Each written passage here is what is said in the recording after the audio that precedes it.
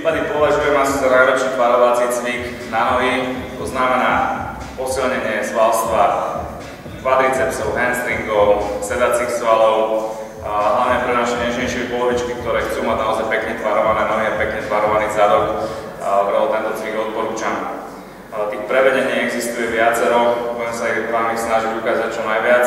Ten základ, výpady vpred, treba so striedaním nôh, alebo respektíve s výpadom jednej nohy do prinoženia, výpady vzad, zase so striedaním nôh, alebo respektíve a len s výpadom jednej nohy a zase nohu vraciam stále do prinoženia.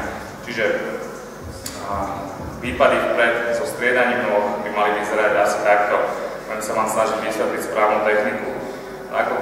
Žiadne náčinie, s ktorým by som si vlastne samotný pohyb stiažil, ruky si dám bok, aby sa mi trošku ľahšie držala stabilita. Spravím výpad vpred.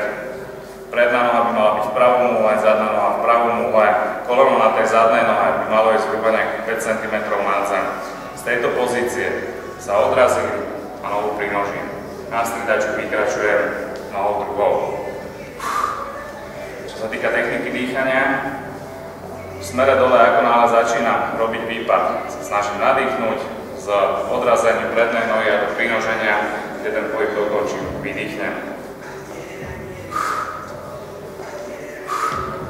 Výpady jednou nohou vyzerajú asi takto.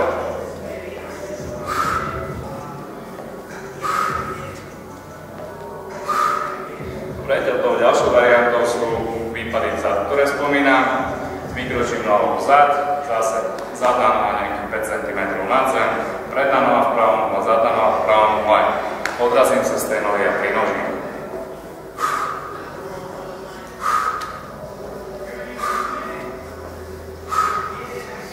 Výpady jednou nohou vyzerajú takto.